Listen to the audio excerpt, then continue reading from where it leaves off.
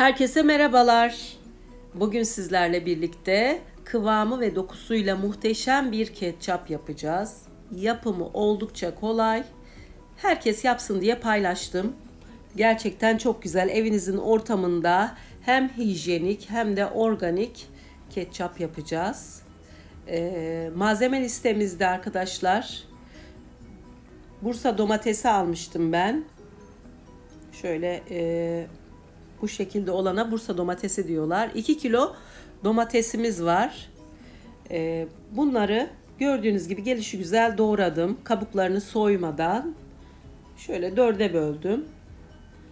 1 kilo da kapya biberimiz var.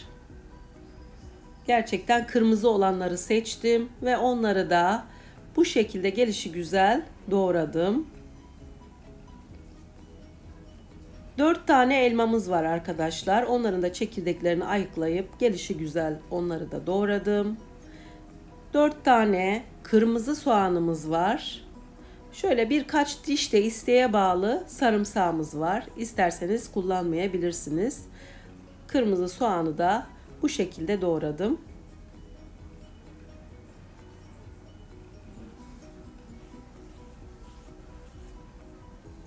Tuzumuz var. Şekerimiz var tarifimizde.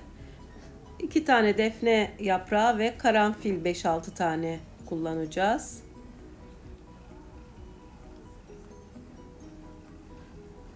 Elma sirkesi arkadaşlar.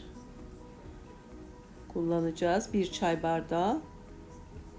Bu tarife Genişçe göre bir tencereye yağ koydum de. arkadaşlar. Şimdi çok az bir yağ koydum. çok az Şöyle iki şu kaşık kaşıkla iki yemek kaşık kaşığıyla yağ koydum. yağ koydum. Şu Yemeklik şekilde. yağ, zeytinyağı da olabilir. Şimdi- Hiç fark etmez. Hemen ısınmasına gerek yok yağımızın. Şöyle soğanları Hemen ilave ediyorum. soğanlarımı tencereye aldım. Tencereniz derin bir tencere Bunları olsun arkadaşlar. karamelize Daha olana kadar böyle, e, sıçrayabiliyor. O yüzden derin olursa daha e, iyi olur. Şimdi arkadaşlar soğanlar biraz karamelize olduktan sonra Biraz soğanlarımızın karamelize olmasını sağlıyorum.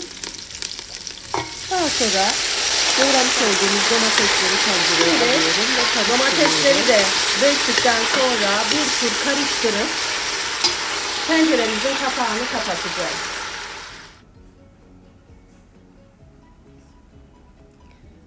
Kapağını kapatıyorum arkadaşlar. Bu şekilde bir 30 dakika pişiriyorum.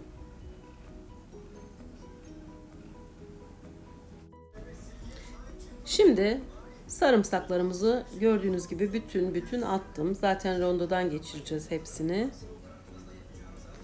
Kapya biberleri de tencereye ekliyorum. Güzelce karıştırıyorum.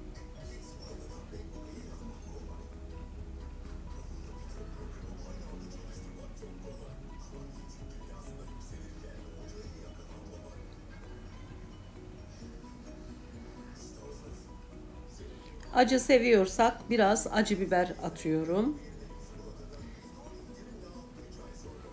Elmalarla biraz daha acı biber koydum ben. Arkadaşlar acı biberi kendi zevkinize göre isterseniz hiç atmayabilirsiniz. Ben sevdiğim için attım. Elmaları da attım gördüğünüz gibi. iki tane defne yaprağı attım. Karanfilleri de tencereye ekliyorum. Ve tuzumuzu ekliyoruz. Şöyle yemek kaşığıyla dolu dolu iki kaşık tuz ekledim. Şöyle iki iki buçuk yemek kaşığı da şeker ekliyorum arkadaşlar.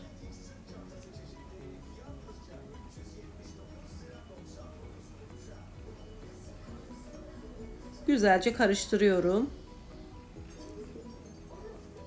Tencereye ekle, yeni eklediklerimi birbirine karışması için kaşıkla iyice karıştırıyorum.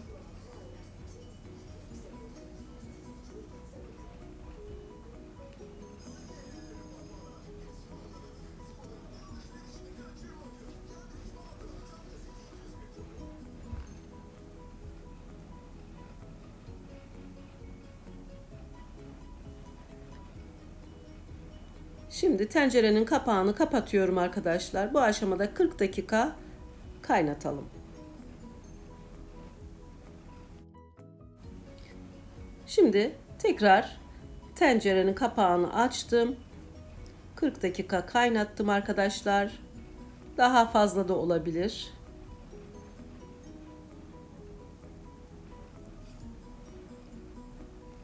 Şöyle içindeki sarımsağı ben e, şöyle kenarda kaşıkla ezdiriyorum. Eziliyorsa pişmiş demektir.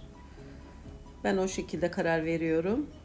Şimdi arkadaşlar altını kapatabiliriz. İçinde sarımsaklar, işte elmalar kayboldu. Bakın çok iyice pişti.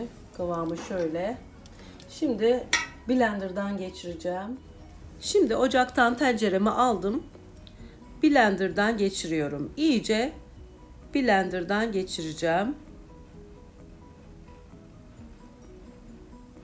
Gördüğünüz gibi iyice yaptık, yaptım.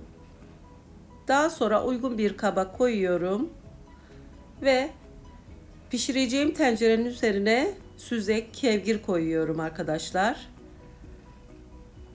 Buradan da dokusunun ipek gibi olması için bu süzekten de geçirmem gerekiyor. Buradan da geçiriyorum. Kısa sürede hemen zaten blenderla yaptığımız için geçiyor.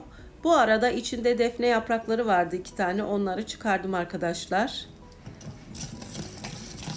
Zaten süzeyin üstünde de karanfiller orada kalıyor.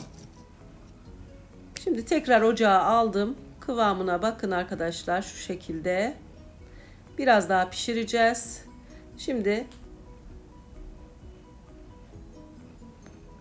yarım çay bardağından biraz fazla elma sirkesini de koyuyorum.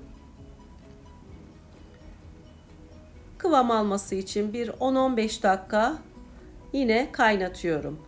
Bu aşamadan sonra arkadaşlar konserve yaptığımız gibi kavanozlara koyup kullanılmamış kapakları da steril bir şekilde e, başka bir tencerede kaynatacağız. Kaynatıyorum. Bu şekilde arkadaşlar kavanozları ve e, kapakları kaynatıyorum. Bir yandan da ketçabım bu tarafta pişiyor. Kısık ateşte. Birazdan kavanozlayacağım. Bu şekilde arkadaşlar.